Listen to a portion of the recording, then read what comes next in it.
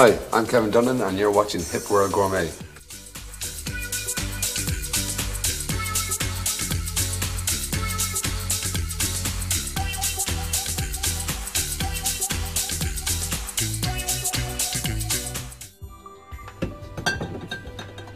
Good morning. You're actually found me in one of the treasures of Dunbrody. I'm here selecting a dry red wine to go in one of the recipes we're going to cook today in our kitchen, which is poached pears. So let me just see here. This is perfect. Let's go and cook up a storm.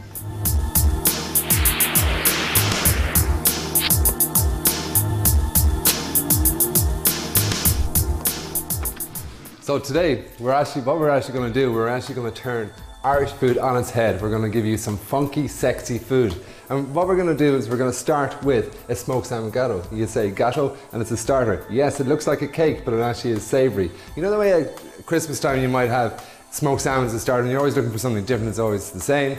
This, this is giving you an interesting twist to how you can work with, with smoked salmon. We're going to layer smoked salmon, some pancakes, some cream cheese, build it up. We're going to serve it with some stunning organic salad, dress it with some mustard green dressing, and you're going to love it. Then we're going to follow, follow by taking an amazing, fantastic, stunning cheese called Abbey Blue cheese. It's very similar on the lines of a Gorgonzola cheese, which is made down in, down in West Cork. And we're going to serve that, or marry that with some poached pears in some red wine, serve it on a crispy, thin, uh, crispy base like a pizza. We're going to bake it in the oven. We're going to serve it with some semi-sun-dried tomatoes and pesto, and then you're going to try it. Then we're going to finish off with a traditional Irish brown bread, which is a soda bread, but we're not going to use the bread. We're going to use the bread to make a caramel, caramelized crust to top our ice cream. So it's a brown bread ice cream. Wait till you see. Let's get started with the smoked salmon gateau. So what I've done I have made some pancakes. I'm going to make this in, in, in an individual uh, portion, but if you're, if you're having a party for six or party 10, you can either do six of these or else you can do a larger cake. So basically I'm going to cut that out, make, it, make rings so, like a disc. And then we're going to take some smoked salmon. This smoked salmon is smoked locally. It's actually with my own recipe. It's, it's smoked with hick, hickory wood and uh, it's a slow smoke, smoked for about 24 hours. But at the same time, there's no additives put in it at all. It's actually, and you can see it's quite, you can see it's, it's quite oily and, and smell, smells great. So again, we're going to make discs again out of that.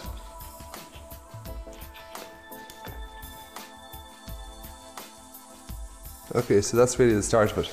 Now you take, you take the ring that, that you were cutting the mold from,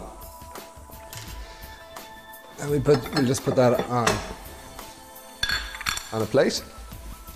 We get some saran wrap or cling film.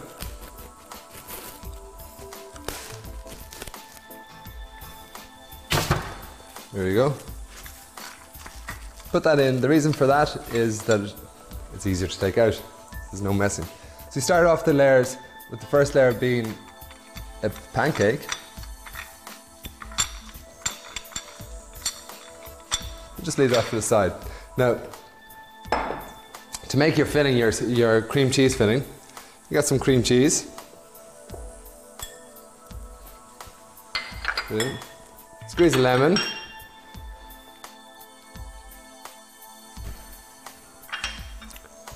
Just chop a few chives to put, put through it as well. And again, I always have that feeling about my food. I always like kind of the natural look about my food. I don't like it too constri contrived. Because the most important thing, as I keep mentioning to you, is your ingredients. And we've got fantastic salmon here. So give that good, good mix. We're going to add a little bit of cream to that.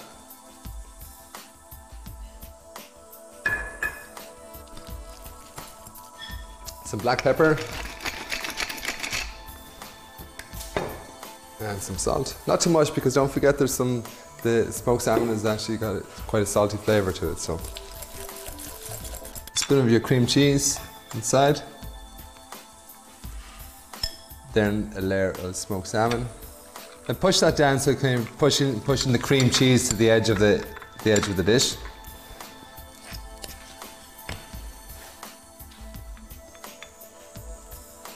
More cream cheese, pancake. Again, pushing the cream cheese out to the edge. Because don't forget, when you take it out, you want to see the different layers. You want to see the pink of the salmon, the white of the cream cheese, and the yellow of the pancake.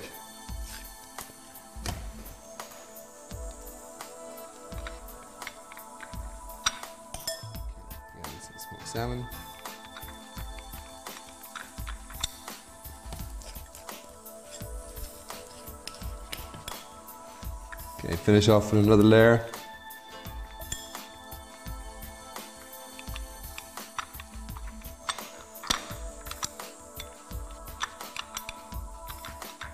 Okay, basically that's your smoked salmon gateau. Done. So we'll just pop that into the fridge for about a, a half an hour or so. So I've got some mustard grain here. This is Dalkey mustard grain. Dalkey's from South County Dublin. That's where actually where my wife is from. So and it's a it's a really good strong mustard. If you don't have mustard, uh, dog, or if you don't have mustard grain, you can always use Dijon mustard. Right. It's very simple. It's just uh, some mustard grain, some olive oil. I'm gonna put a bit, a bit of black pepper in there. A little bit of lemon juice that's left over from the smoked salmon gateau mix. Give that a good stir. You can see it there, it's starting to blend together nicely. We're going to put a, a bouquet of organic greens on here. You don't need very much because it's a um, smoked salmon is quite a rich and don't forget it's a starter so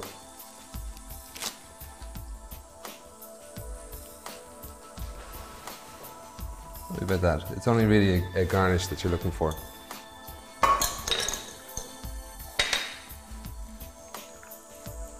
If you take a piece of your smoked salmon, just do a strip, strip like that. Then if you roll it, just so like that. You can see it there, look. It just looks like a rose. You just put that to the side. Already that looks that's looking great.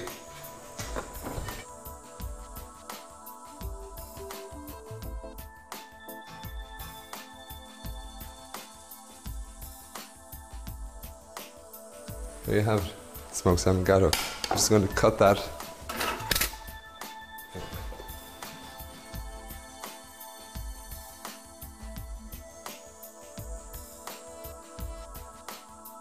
In half. There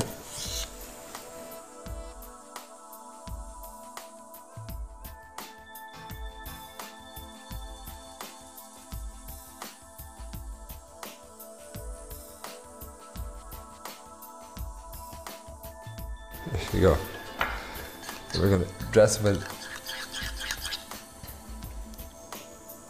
You just want to drop it around the plate. Don't forget to put some on your your lettuce as well.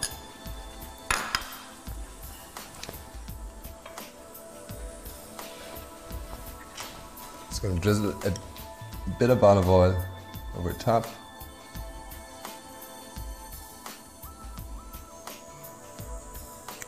just around the plate as well. We're going to finish that off with black, bit of black pepper. So there you have it, smoked salmon gateau with a mustard grain dressing and drizzle with a bit of olive oil over that beautiful organic lettuce. But come with me now because I want to show you where we get, actually get our eggs. We use free range eggs and we're going to show you how free range eggs work in a farm situation. So come on, let's go.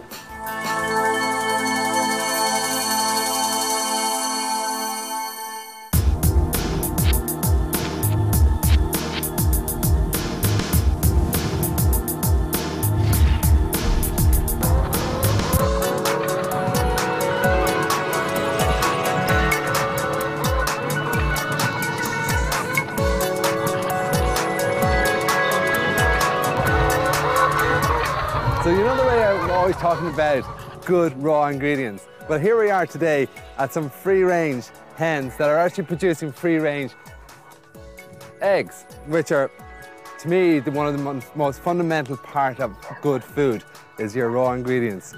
So, tell us, what's the difference between free range chickens and eggs versus factory? Because the fact that they're out all the time and Yeah. they're eating so much grass and whatever they can pick up in the, in the ground, plus they're on uh, uh, uh, pure organic food. But they're out and about and just picking away. Absolutely, absolutely, definitely. So they have a good life, really, don't they? They have. They have great freedom. Great freedom. They Brilliant. have. And would they produce eggs every single day? Uh, near enough, near enough. Uh, about out of 500 now at this stage. I'm getting about 300 a day, and they're 11 months old. So that's- in another month. I will be getting rid of them. So Yeah. it's not bad. Yeah, Yeah, yeah. it's not bad. And why is the egg yolk so vibrantly yellow? Is it because of the grass, is it? It is. It is. Is it? Yes. It's fantastic. I mean, the difference it makes is stunning. Makes an awful difference. Yes, it does. Excellent. Definitely. They're friendly, are they? Very, very. Are they? Yeah. Let me have a look. Really pets now at this stage. Will they let me pick one up, will they? Oh, they are. They're beautiful, aren't they? They're, they're, they're, Excellent. they're 11 months old now at this stage. They'll soon be finished here. Can I take this home with Uh, me? You can, you can. Can I? Certainly. Listen, thanks very much. Well, I'll give you a kiss. Kevin. You're welcome. Thanks a million. Bye-bye. So there you have it. Free range hens laying free range, range eggs.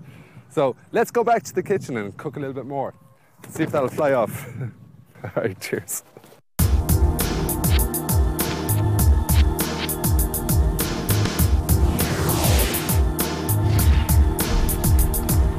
Let's get on and make this fantastic Abbey blue cheese pizza with poached pears. Basically what we have here is we've got some poached pears. I poached them in some red wine, some sugar, some cinnamon sticks, and uh, poached them for about, about an hour or so. So I'm gonna just slice them down, like so.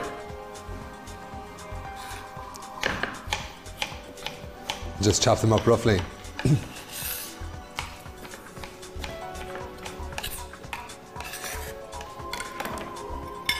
Okay. Oh, the smell of that is fantastic. There's a fantastic story about Irish farmhouse cheeses. And how it, how it comes about is, and it's not so long, it's not that old. Many, many years ago, we used to make some soft cheeses, and then we were told we weren't allowed to make any more soft cheeses by the English. And we had to make hard cheeses. So that was fine, so we obeyed and we did what we were told. Until about 10 years ago, or 12 years ago, a group, a group of farm, farmers down, down in Cork, cheesemakers, were making soft cheeses. And they were absolutely fantastic. But they were actually extremely wild. Because they'd never been taught how to make cheese correctly in terms of the bacteria growth and stuff like that, that their cheese tended to be extremely wild. So because they wanted to go in more commercially with their, with their cheeses, and a few people got together, actually in fact 12 of them got together, and they got in touch with the Cork University, which is down the south of Ireland. And between them all, they came up with a degree in cheese making. So what happened is they, they all went to college and they learned how to make cheese correctly. But what, what's fantastic about the whole thing is that they learned how to make che- cheese extremely wild. Then they went into college and they got tamed. But as it transpired, at the end of the day, we get this result of a wild flavors through our cheeses. And that's why they're so good. We're going to um, roll out our pizza dough here.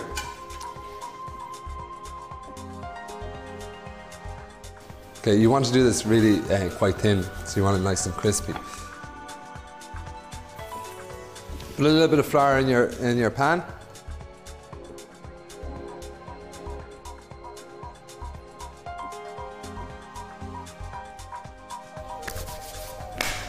Bring your pan over to your ingredients then.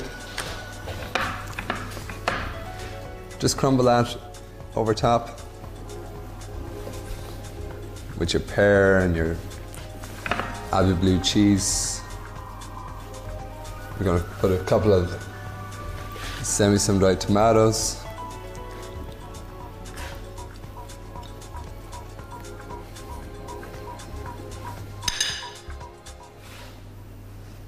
We're to throw that in the oven until it's nice and crisp. Okay, let's check and see if this pizza's ready. Wow, the smell on that. It really comes alive. That cheese. When you melt that cheese, it really comes alive. It's, it's, uh, it's taking a world of its own. Just lift it off onto the board there.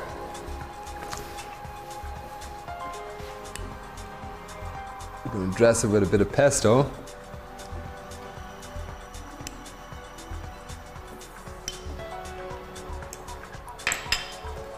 I'm just going to drop on some watercress, which will give it that little bit of peppery, peppery flavour.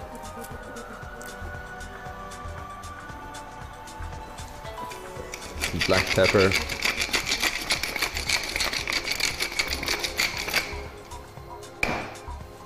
There you have it. I'm just going to cut a slice out of this because I can't resist it. You can hear that crunch.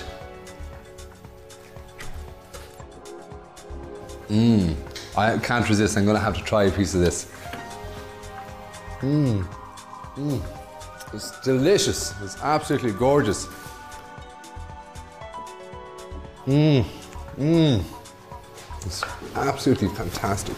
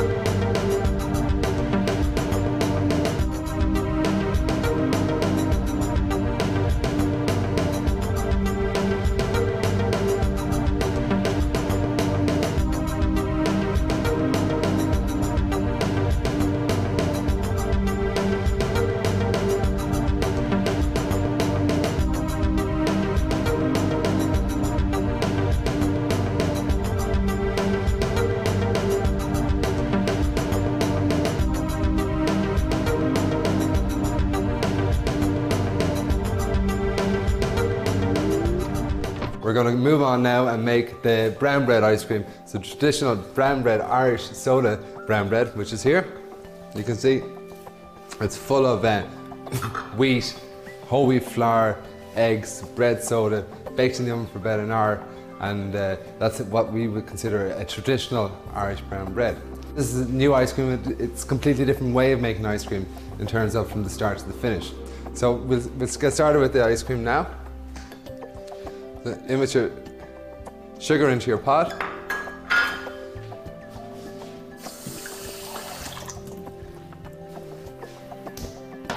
And some water. You let that let that boil again to a soft boil stage. Look about three slices three slices of brown bread. Push it out with your with your hands.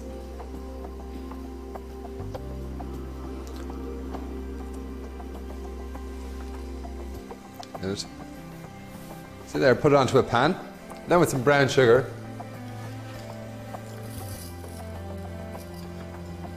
Sprinkle it over top. And we're going to grill that now. But, but, and also just move it around there.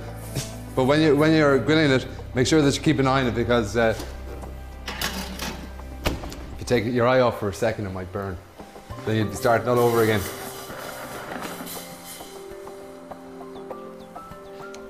Okay. So we're going to beat up our egg yolks.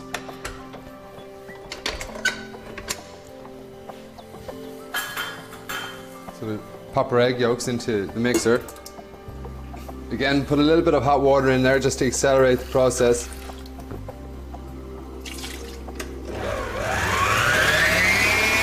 Leave that for about two or three minutes until it literally doubles in size until it comes to a thick, frothy texture. So that sugar's nearly ready. Let's just check on the eggs. That's ready.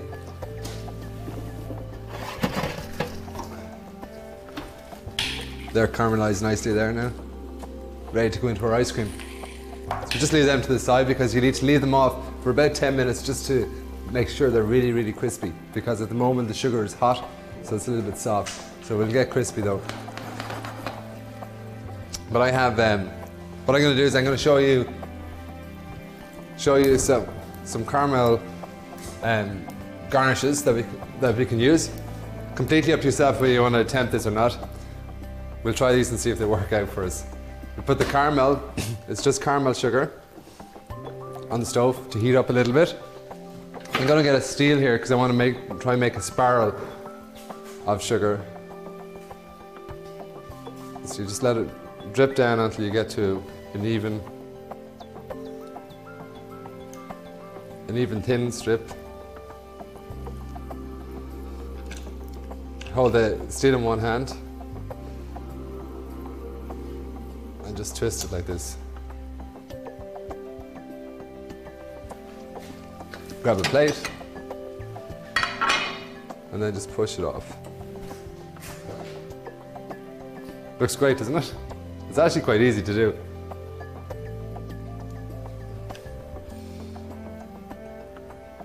Just twist it around and push it off. There you go. We'll top our ice cream off with those. Okay, let's just check check the sugar. We want it at a soft ball, so we want the sugar to separate, or to like a thread from the two spoons. You can see the way it's uh, threading between the two spoons there. That's exactly the way you want it. Turn turn the heat off on that. Turn your eggs back on.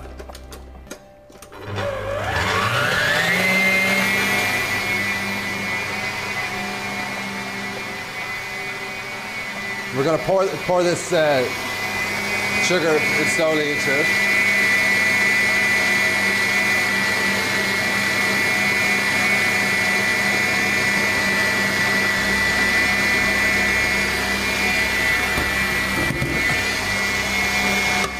There you have there now. What's actually happening in that process is that the sugar, the heat of the sugar is actually cooking your eggs as, long with, along with the oxygen.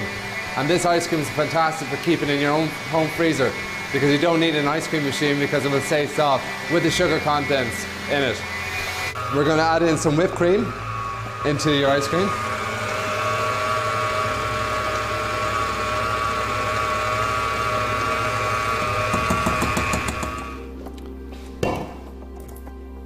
There you have beautiful creamy ice cream.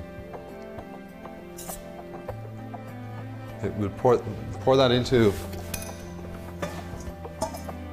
a bowl.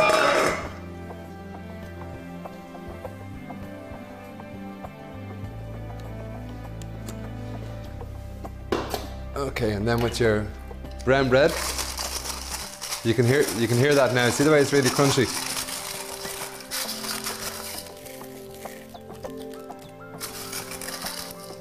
Sprinkle them through. Place that in, your, in the freezer.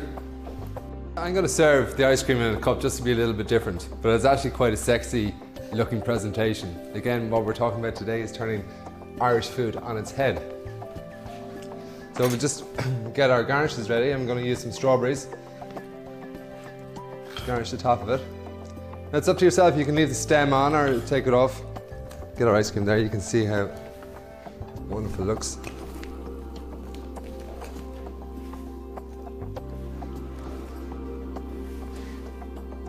fresh strawberries, a little bit of whipped cream inside, some fresh mint, and then for you adventurous type out there, you've got your sugar garnish to go on top.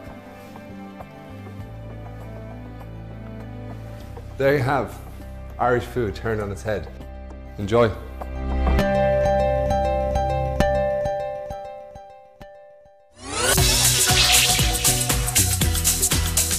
So there you go, Irish food on, turned on its head. We started off today with a smoked salmon gateau with organic greens and musgrain dressing, followed by that fantastic pizza, Abbey blue cheese and poached pears, drizzled with some pesto and some sun-dried tomatoes. Finished with this brown bread ice cream, topped with the sugar garnish for you, for you adventurous type out there. Thank you for watching Hip World Gourmet. Sláinte. Till next time.